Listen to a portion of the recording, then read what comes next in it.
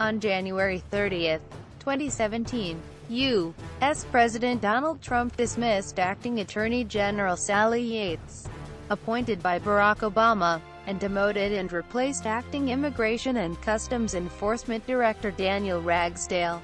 The move was labeled the Monday Night Massacre by a number of politicians, political commentators and news reports, while the use of the term was questioned by others.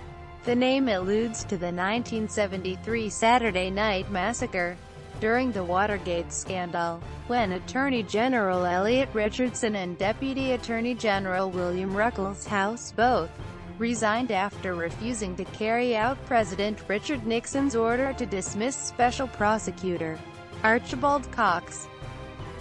Dismissal of Sally Yates The firing of Acting Attorney General Sally Yates, a career prosecutor appointed by President Barack Obama, followed her refusal to defend Trump's executive order banning the entry of nationals from seven predominantly Muslim countries because she was not convinced the executive order was lawful.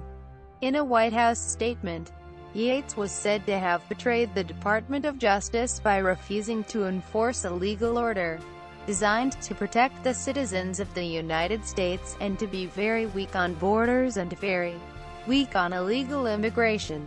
Many Trump critics praised Yates for standing up against what they perceived as an unconstitutional executive order, but some legal experts including Alan Dershowitz, Michael Gerhardt and Jonathan Adler questioned Yates's decision.